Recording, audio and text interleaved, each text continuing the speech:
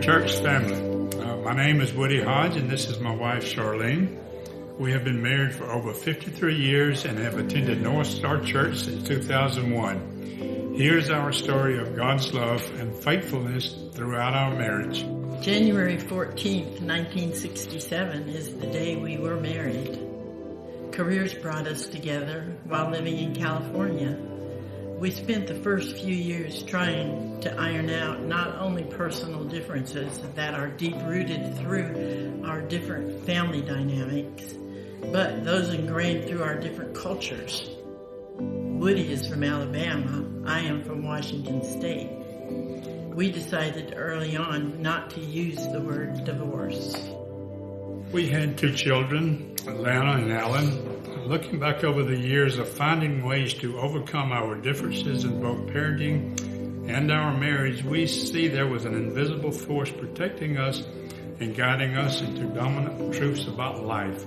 Some of those truths include the necessity for commitment to each other no matter what, forgiveness to keep the pathway open to future conversation, loving and ministering to one another helped us to step away from being self-centered and being trustworthy and honest with each other is essential.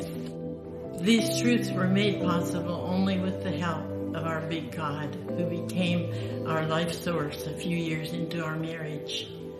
God knows what unites. I began attending a small group Bible study in our neighborhood and began sharing with Woody the awesome truths I was learning. I recognize these truths from my childhood when at 12 years old I asked Jesus into my life. John 3:16 is a verse that comes to mind. For God so loved the world that he gave his one and only son, and whoever believes in him shall not perish but have eternal life. We committed our lives to learning more about how to follow Jesus and his way of dealing with opposing viewpoints we began learning there really is an absolute truth about life and that we could fully trust and find unity in it. Even though we don't always agree, we increasingly recognize the supernatural power of a big God who has taught us it is okay to agree to disagree and who continually reminds us of his love and his forgiveness of sin. Once we experience the victory of working through life's battles together, we now enjoy each other and the bonding that comes from doing it together.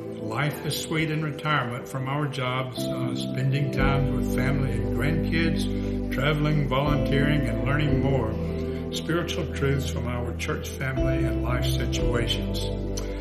To our church family, there is such a reward realizing life is about loving others and ministering to them, as it says in Luke 6:38. Given it will be given to you, good measure, pressed down, shaken together, running over, they will pour out into your lap. All our love, Woody and Charlie. And Charlie.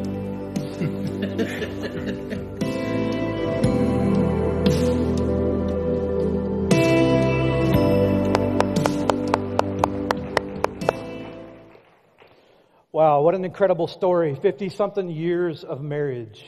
And uh, what a testimony to each and to every one of us. If you're new to North Star and this is your first time with us, let me say welcome.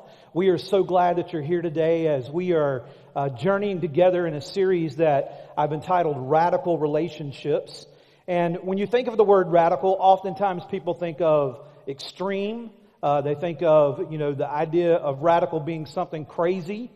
But if you really understand the word radical, the word radical is, uh, comes from the Latin word that just simply means rooted in or from the original. And the idea that we're going with is that if we're going to make an impact in this next decade, because here at North Star, over these next six months, we're talking about how do we make an impact with our life? How do we make a difference in the world that we're living in? And how could this be the best decade ever? And I believe that one of the ways it can do that is through radical relationships. And so we talked about friendship last week. Today, we're going to talk about marriage. And uh, before we start that, I want to speak to singles very specifically because I think the Bible has a lot to say about singleness, and oftentimes we overlook that or we miss that. So I want to encourage you to take out your message notes. That way you'll be able to follow along with me today. We're going to dive in here in just a moment. I want to begin with a passage of scripture that I'm going to talk about for a second, and we'll come, come back to it in just a minute.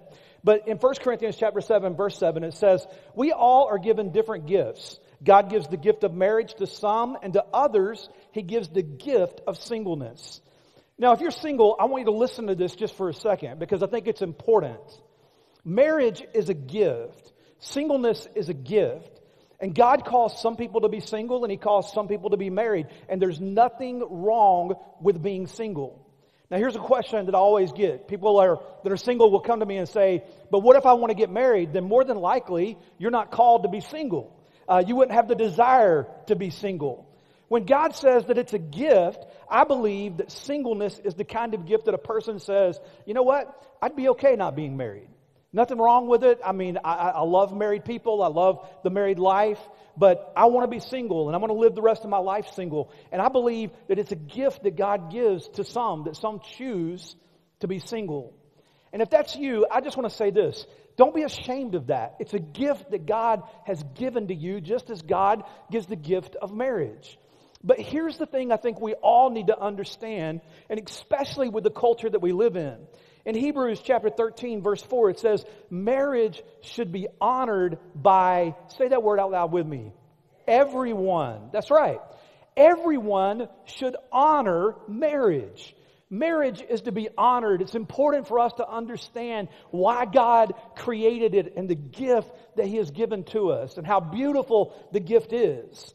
You see, out of marriage, what God intended for you and what God intended for me inside of my marriage, and for those of us who proclaim to be followers of Jesus, He wants our marriages to be an example or a picture to the world around us of what His relationship to the church really looks like.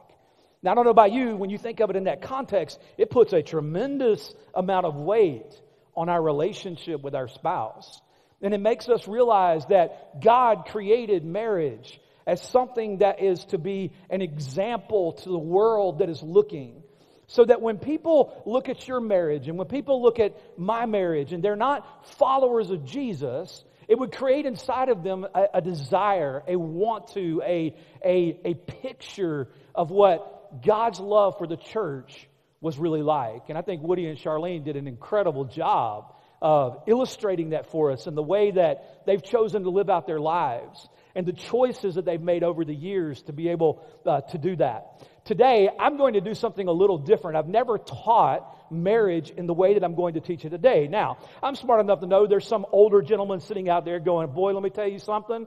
With those little boots on that you've got and that nice little shirt, you ain't going to teach me nothing about marriage. I've been married 60 something years. Okay, I get that. And um, I will say, I believe you. Uh, you probably could teach me a lot about marriage.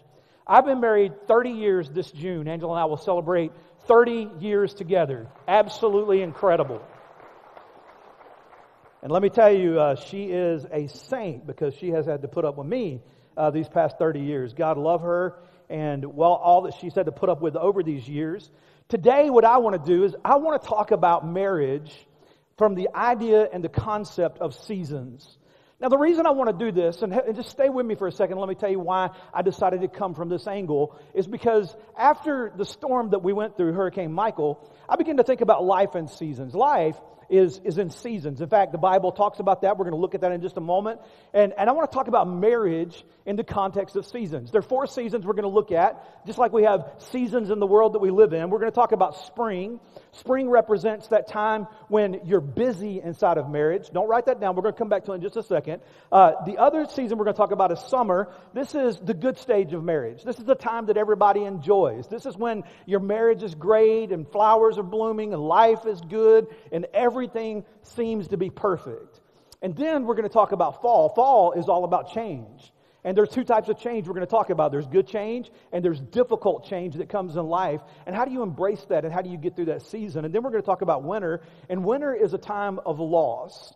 Winter is a time when you go through the really, really tough stuff in life and it really begins to test you and your relationship and the, and the marriage that you have. Now, what I want to do is I want to begin with a passage of scripture that talks very specifically about this idea of seasons. In fact, I love what it says here because the writer of Ecclesiastes was considered one of the smartest men to ever live. He's looking at life and he's thinking about it and he's writing from this perspective. He said, For everything, I want you to say that word out loud with me. For everything. Notice, he didn't say some things, he didn't say some stuff in life. He used the word everything. He said, Everything, there is a season. There's a time for every activity under heaven a time to be born, a time to die, a time to plant, and a time to harvest, a time to kill, and a time to heal, a time to tear down, and a time to build up. He goes on and says there's a time to cry and a time to laugh, a time to grieve and a time to dance, a time to scatter stones and a time to gather stones, a time to embrace and a time to turn away. There's a time to search and a time to quit searching, a time to keep and a time to throw away, a time to tear down and a time to mend, a time to be quiet and a time to speak, a time to love and a time to hate, and a time of war and a time for peace. I don't know about you, but that covers just about everything, doesn't it? He says there is a season, there is a time for everything in life. And I really believe that if you're here today and you're just married, maybe you're younger, uh, maybe today I'm going to give you some insight to some things that I think you're going to face in the future that's going to happen as long as you're married. For those of you that are older, you're just going to shake your head as I talk and go, Yep, been through that season. Yep, been through that season. Yep, I know exactly what you're talking about there. Some of you are going to go, That's where we are right now. We're in this season of life. And that's exactly what Angela and I talked about this week the season that we feel like we're in currently in our own lives personally. The first season that I want us to look at is what I call the springtime season. It's the season of busyness, if you want to write that down. Now, this is important because we all go through these seasons. It's a season where we get busy and we're like two ships passing in the night, right? Because life is just full and life is busy. You don't talk. You don't have time to talk. You don't have time to do the things that are important. You don't have time to think. You don't have time for intimacy. You don't have time to just be together because you're so busy going around from different thing to different thing. In fact, those of you that have preschoolers, let me just tell you this you're in a season of spring right now. Uh, it's probably the busiest time of your life. You're thinking to yourself, I never thought it was going to be this difficult. But let me just tell you this it's important to understand that the season of busyness is a season that can be very dangerous if you're not careful. In each of these seasons, what I'm going to do is to give you some tips that Angela and I learned through mentors and reading and other things that have happened in our life over the years that hopefully will be beneficial to you. What do you do during this season? What are the things that, that you need to be aware of? And what is it that you can do in order to build the kind of relationship that God has uniquely designed for you to build inside of marriage? There's a season. And in this season, there are some things that you have to do. In fact, let me just say it this way. In, uh, during this season, you have to be intentional. You have to be intentional. Now, I'm going to talk about that for a second because some of you, I can say that, but you need specific illustrations of how to be intentional. This is a season of busyness. It's a season of where things are just kind of out of control. You're running from ball games and you're going back and forth, and work maybe has put a, more of a load on you. And let me just say this many of us are coming out of a season of busyness just because of where we live and what's happened in the last year. It's been a busy season in your life. Angela and I were talking about this the other night, and we were thinking back about, man, it seems like every waking moment that we've had has been working and then going home and working on the house and then trying to get things accomplished. And I've been to Lowe's probably 17,000 times in the last year. I, I, probably could own the place by now. I, it's just unbelievable to me how much time we've spent trying to get our lives back together. It's a busy season. In this season, there are three things that I've learned over the years. I'm going to give them to you that we've just kind of tried to practice divert daily, withdraw weekly, and abandon annually. Those are three things that you have to be intentional about. Let me explain those to you. Divert daily just simply means this it means that you do something fun every day together. Now, I'm not talking about you got to go on a date. I'm not talking about like you got to go out and do something, you know, in, in, the community. I'm saying every day you find a way to have fun together. You divert daily. You take a little bit of time to say, we're going to have time for us. In fact, when our kids were little, for those of you that have preschoolers, Angela and I used to practice this principle. When I would come home from work, she would say to the kids, This is mom and dad time. We usually tried to spend about 10 minutes together just so we could kind of reconnect. We would take our kids and we literally would place them in their rooms and say, You play for the next 10 minutes. Mom and dad are going to have couch time. And our kids got used to this. We would go in, we would sit down on the couch. I know some of you right now are thinking that would never happen in my home. Uh, well, it, it was difficult, but we made it happen.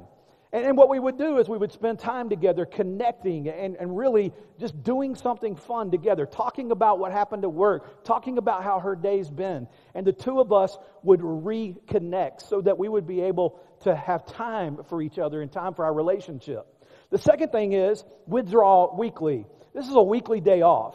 Now, I know for some of you, maybe you're in a season right now where that just can't possibly happen, but I want to tell you this God commanded it. He said there is to be a time for 24 hours that you take a break from what you do for a living. It's an opportunity for you not only to recharge yourself, but it's an opportunity for you and your spouse to be together. For the two of you to have quality time with each other. For you to be able to take a day off and to rest together and to focus on your relationship with each other. And I want to just say something here that's very, very important. Mom and dad, I want you to know that your kids are important, but your relationship with each other is far more important than your kids. You show me a great, you show me a great marriage, I'll show you great kids. If you want your mar- if you want your kids to turn out great, work hard on your marriage. Spend time doing the things that you need to do together so that you can connect with each other and make sure that you do that weekly and then abandon annually. That's just where you take a vacation.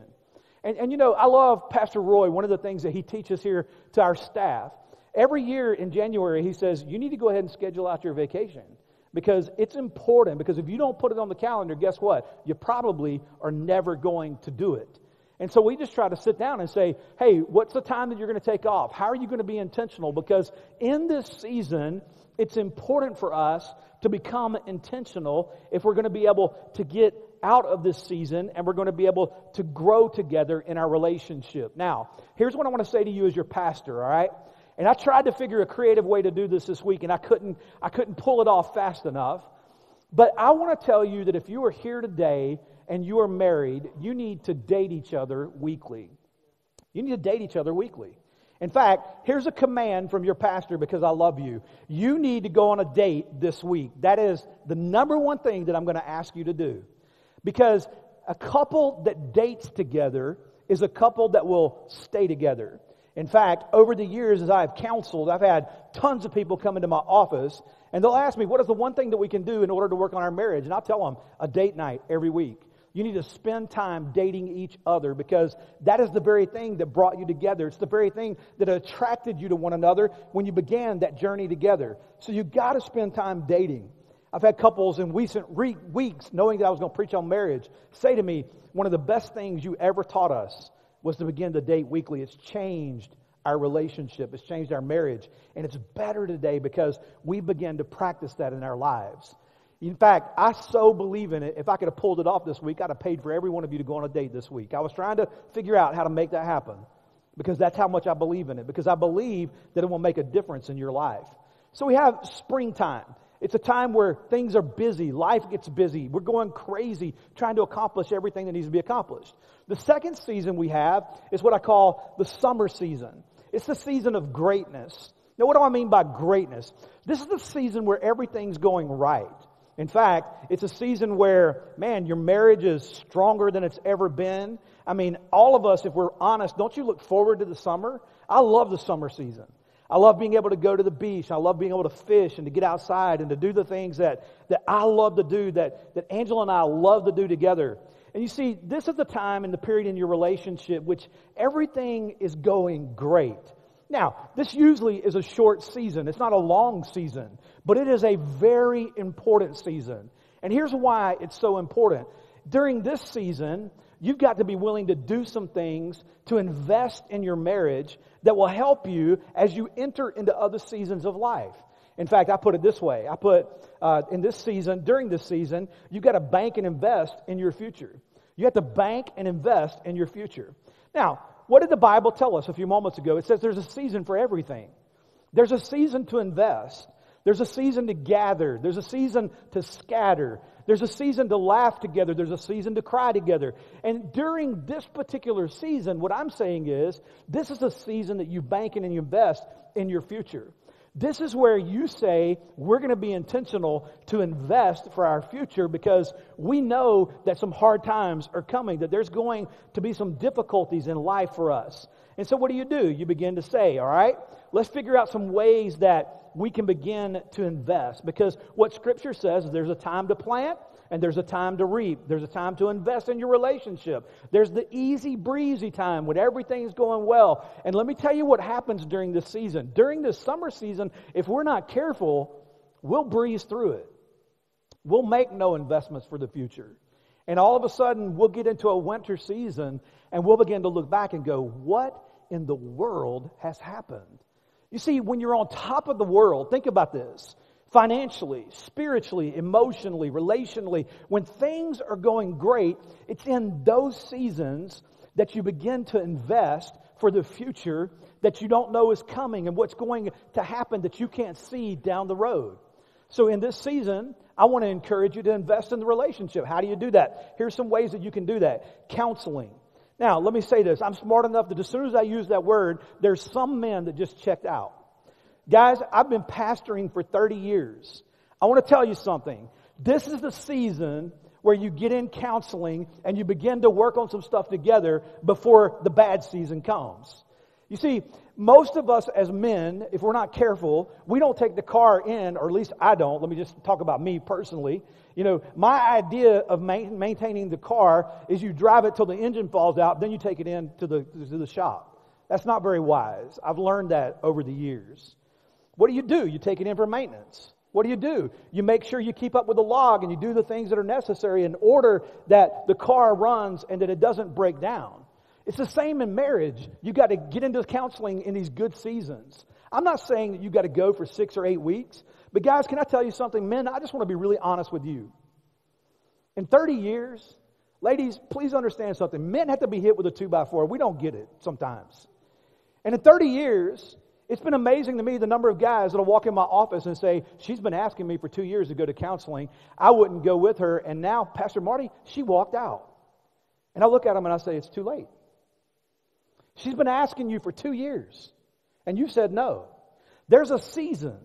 There's a season, and the season is the summer season. When things are great, you begin to invest by going to counseling, but not only counseling, you do marriage seminars. You find a marriage seminar that you can go to. You go on a cruise together and you begin to invest in your relationship and you begin to work on some of the things that you need to work on, knowing that there is a winter season that is coming, knowing that there's a fall season that is coming.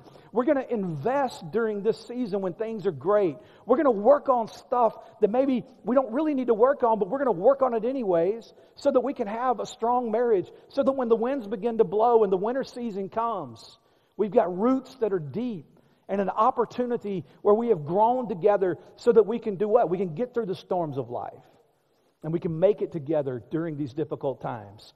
Not only that, you can read books together. The guys, I know this. I mean, I'm smart enough to know this. Men hardly ever read books. Um, you know, that's why they created, uh, you know, books on tape or books on CD or whatever it is. Uh, you can listen to it in the car and a podcast. I think a, a, is a great way for you to be able to do that. But you invest during this season so that as the other seasons come, you're able to make it through those seasons in life. I'm going to talk about that here in just a moment. The third season that we often go through is what I call the fall season. And I want you to notice fall is the season of change. Now, I want to talk about this in two ways. There's good change, and there's change that is unexpected or, or the, the, the probably will never happen. It's two different types of change. And I think we have to understand both of these. Some change is good. I mean, like maybe when you've moved or you've taken a new job, maybe you just got married, or, or, or maybe there's some, some new opportunity or adventure that you're taking together. And inside of that adventure, there comes change. Now, it's easy sometimes to embrace that kind of change. It's easy to say, hey, we're on a new adventure. You know, we just got married. We're moving to a new city. You got a new job. I mean, maybe a baby's coming along. And, and, and it's a season where change begins to happen in your life. Now, it's important to understand that change always creates stress. Let's just be honest. I, I don't care if it's good change. Change creates stress because it means that life is different. It means that we're going to be living differently. But see, let's talk about the kind of change that is the kind of change that does, doesn't allow change to happen in life. Let me just illustrate this for you for a second. You see, Angela and I have been married 30 years. There's some things that I know are not going to change about Angela, and that's okay. I just know that, like, I married her and, and that God has uniquely given her her personality and gifts and abilities. And Angela knows that there are some things about me that probably are never going to change. And, and what do you do? What do you do when you love someone and you, you say, man, like, that just ain't changing?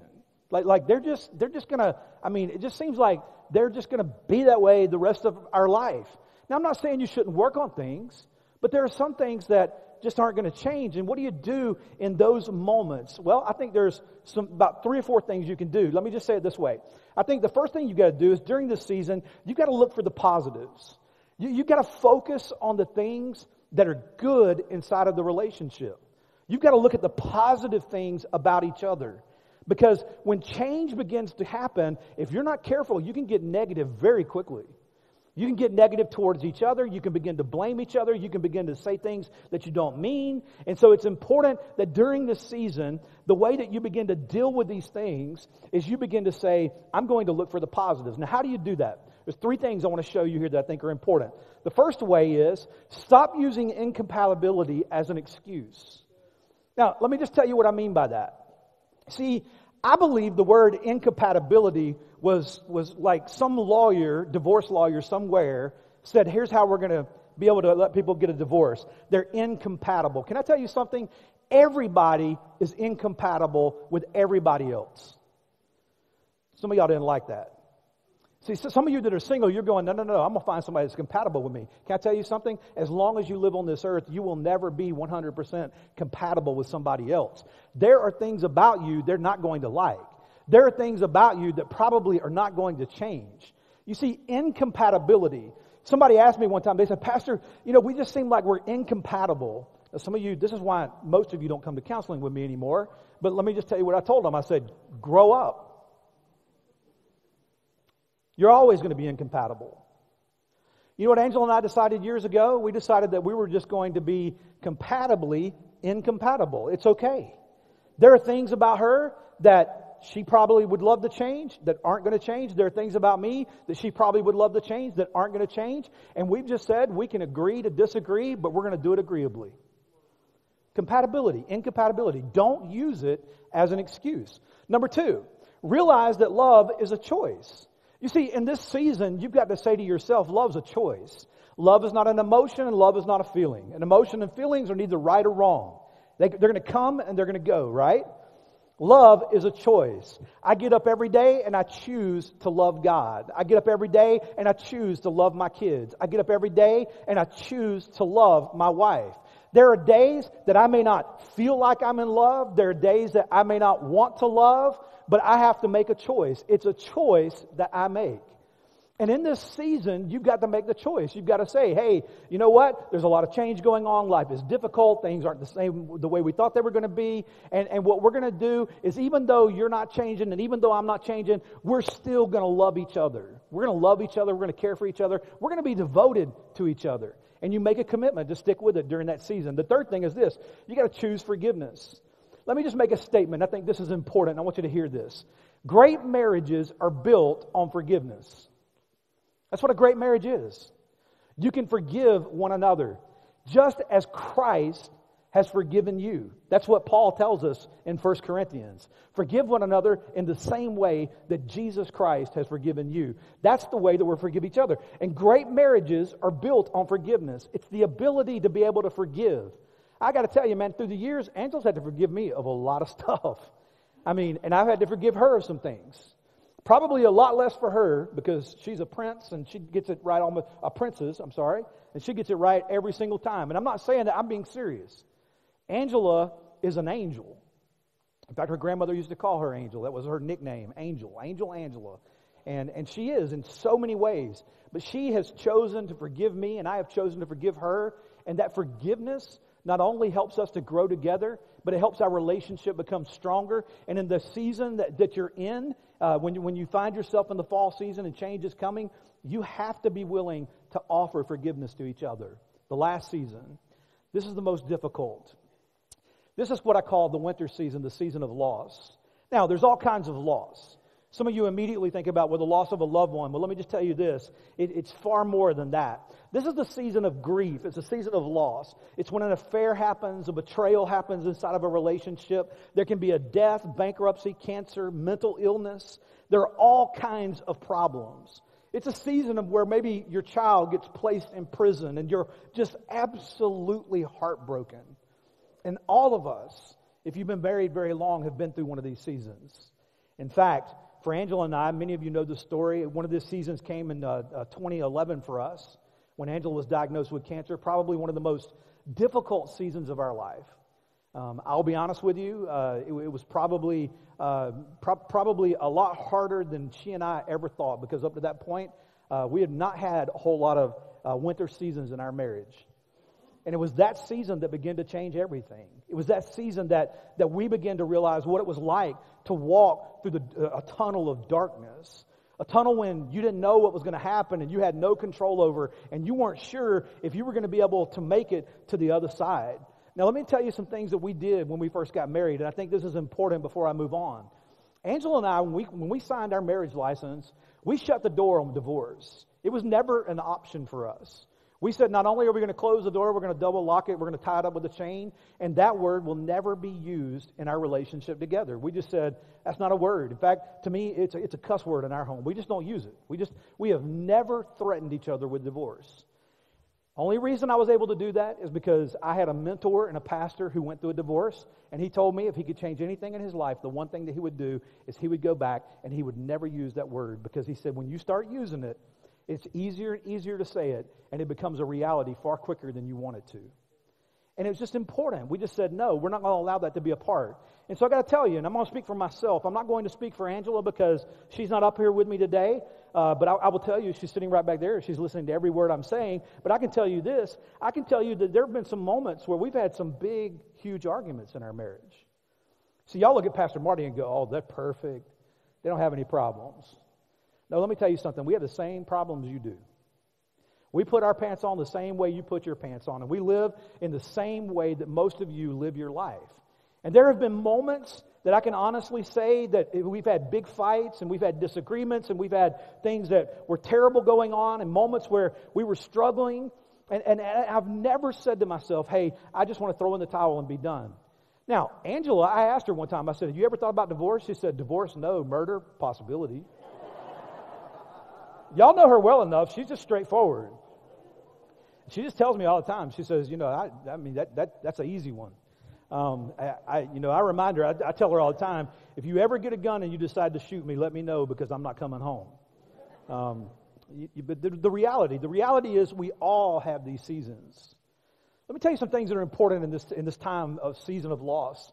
Here's the thing you got to understand. This season is you got to choose not to destroy each other. Guys, this is difficult. I, I, in fact, I'm going to sit down for this one because I want to get this across. You see, what I've learned over the years is that when it gets difficult and loss begins to be experienced and life gets uncontrollable, this is when individuals and couples begin to attack one another. Rather than being on the same team and rather than being together, they begin to attack each other. Our child wouldn't have died if you'd have done this. Our marriage wouldn't have fallen apart and you wouldn't have betrayed me if you would have done this. This wouldn't have happened in our financial life if you would have made better decisions. And the finger pointing begins, and all of a sudden, rather than being on the same team, they become opposed to one another. This is a season where you have to dig in. It's a season where you literally have to say to each other, We're not going to destroy each other. We're going to make a choice to stand together no matter what happens. Now, I know some of you are thinking, Pastor, you don't understand. You, you haven't been through some of the things that I've been through. Let me just tell you a couple things in this season. The first one is this decide that divorce is not an option and never use that word. I said that just a few moments ago, but I want to say to you that I think it's important that you make this decision. We're not going to talk about that. That's not, that's not even an option for us.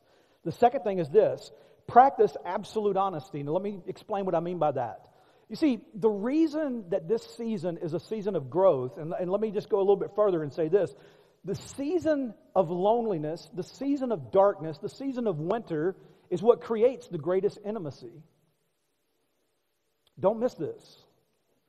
The reason it creates great intimacy is because it requires absolute honesty. This is where people have to begin to talk about things they've been unwilling to talk about, to have conversations that maybe they've avoided over the years, to begin to talk about what life would be like, maybe without each other, because maybe someone's been diagnosed with cancer, there's an illness or, or a mental problem that's going on. It begins to lead to conversations that you never would have had had you not gone through this season.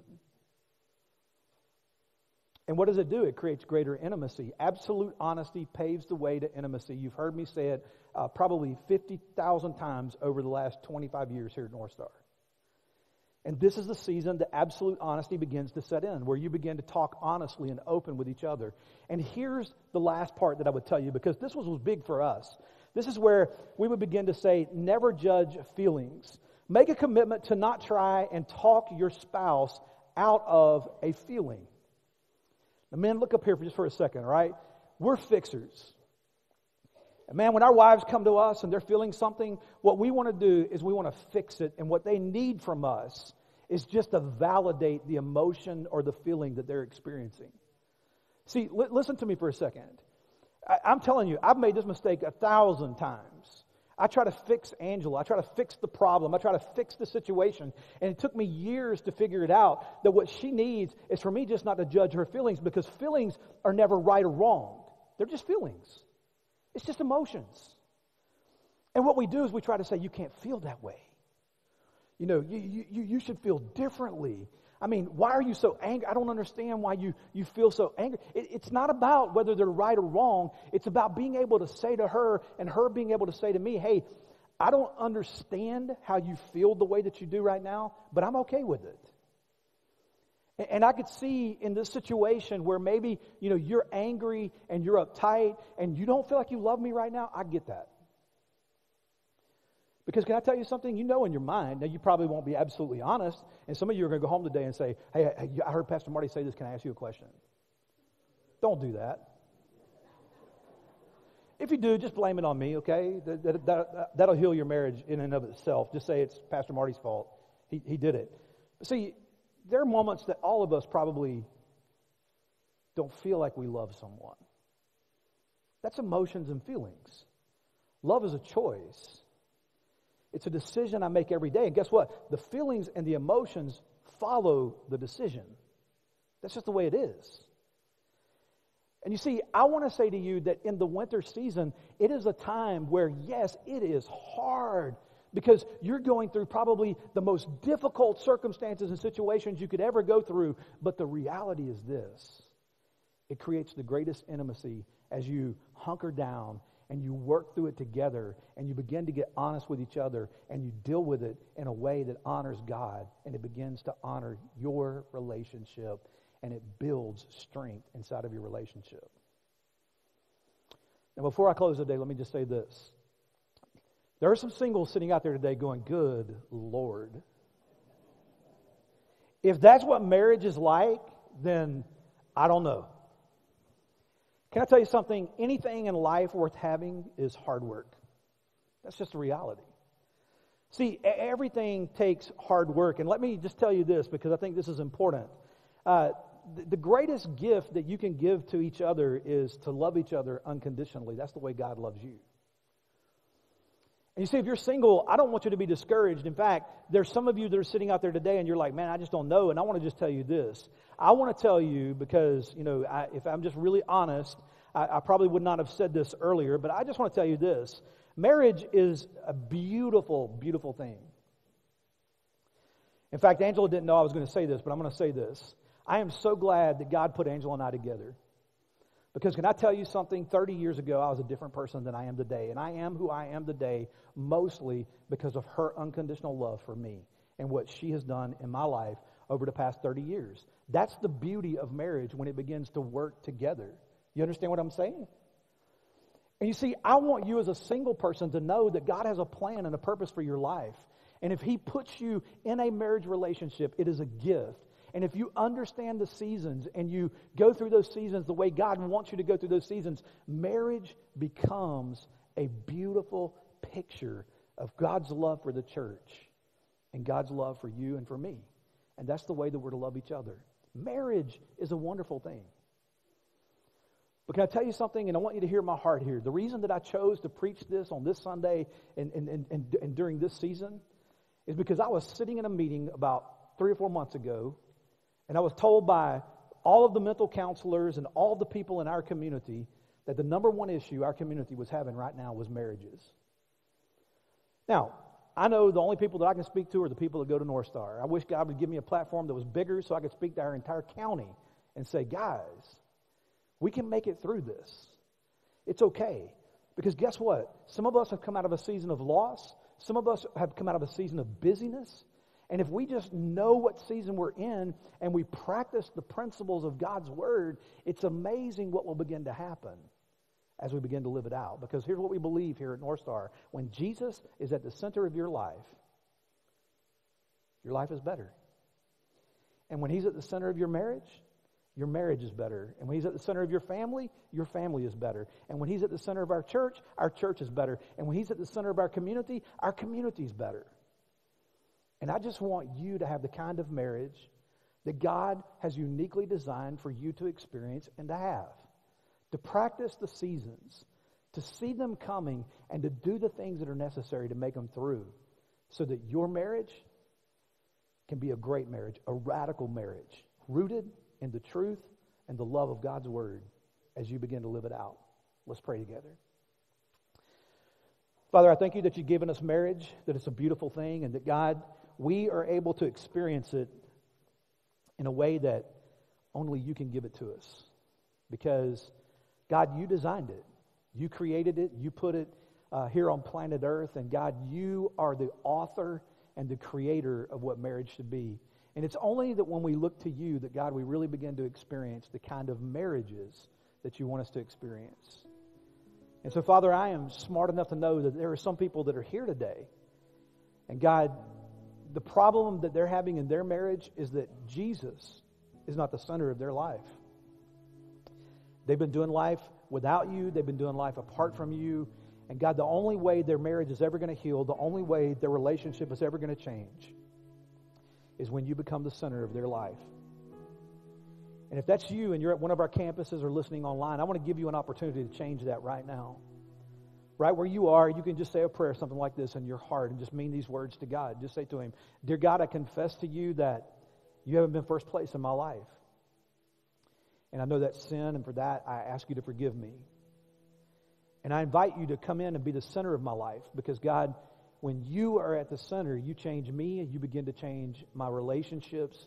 You change the way that I live. You change the choices I make. You give me the ability to love and to forgive and to show mercy and grace and kindness. And so I just surrender my heart to you right now. Please come in and be my Lord and my Savior. If you just prayed that prayer, greatest decision you'll ever make in your life.